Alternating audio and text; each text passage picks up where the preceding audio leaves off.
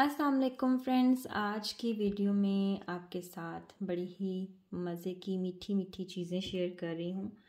चीनी की जगह क्या इस्तेमाल कर सकते हैं और लीडर का गुड़।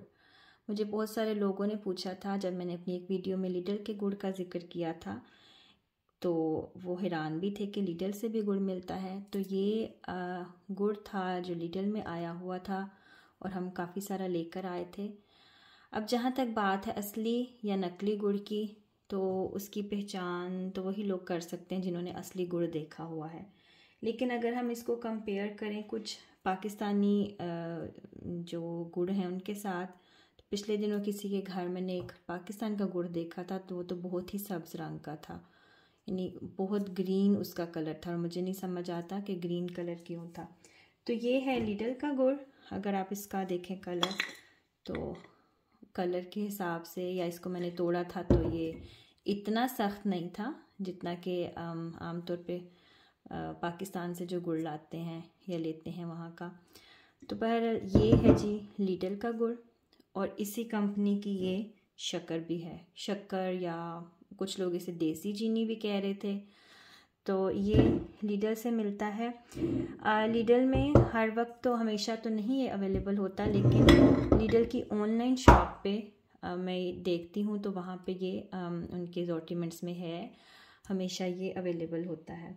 अच्छा इसी तरह अब ये जो शक्कर है या चीनी या जो भी ये डीएम की है। ये भी मैं बहुत अरसे से इस्तेमाल कर रही हूँ इन्हीं शक्कर की जगह पे। इसको इस्तेमाल करें तो क्योंकि इस पर लिखा हुआ है कि ये अनरिफाइंड है। ये रिफाइंड शुगर नहीं है, ये फुली एक तो एक ऑर्गेनिक है और टेस्ट भी हम मुझे तो शक्कर का ही आता है, बाकी हंड्रेड परसेंट औरिजिनल वही बता सकते हैं जिनको इसकी पहचान है। और फिर उसके बाद ये वाला जो सिरप है ये भी हम चीनी की जगह अपने खानों में इस्तेमाल कर सकते हैं। ये वाला, ये भी डीएम से मिलता है। और इस तरह का एक और भी सिरप है, वो अभी ख़त्म हुआ हुआ है, लेकिन मैं आपको उसकी तस्वीर दिखा देती हूँ। तो ये दो सिरप हैं जो हम चीनी की जगह इस्तेमाल कर सकते हैं। सफ़ेद चीनी सबको ही पता है कितनी नुकसानदेह है। और हमारे घर में बहुत कम इस्तेमाल होती है तो मुझे ये था कि आज आपके साथ भी चीनी की जो मुतबादल हैं वो मैं शेयर करूँ।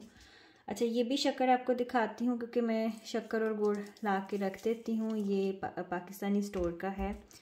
तो इसको हम थोड़ा थोड़ा तीनों शक्कर को प्याली में निकाल के देखते हैं।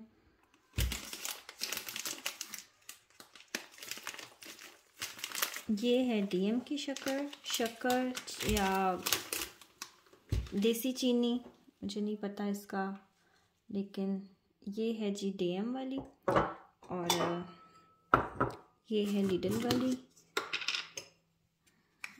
ये है लीडल की।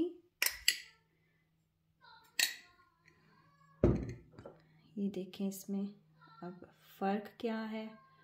वो तो कोई एक्सपर्ट ही बता सकता है जिसको, जिसने असली गुड़ और शक्कर को देखा हुआ है।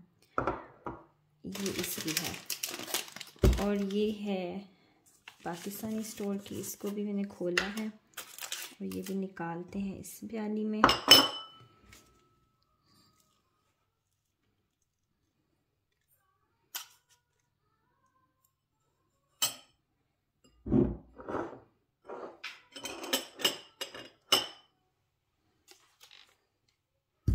और ये है पाकिस्तानी स्टोर का गुड़। ये जी पाकिस्तानी स्टोर का गुड़ है इसको भी खोल के देख लेते हैं। अब इस गुड़ के और इस गुड़ के रंग में भी बज़ाहिर तो फ़र्क है। इस तरह से ये ज़रा ज़्यादा वाइट है ये काला है। तो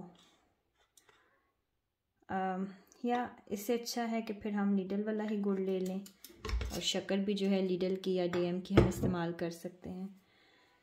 तो ये भी पाकिस्तानी स्टोर का ही गुड़ है, लेकिन कोई मुख्तलिफ़ था।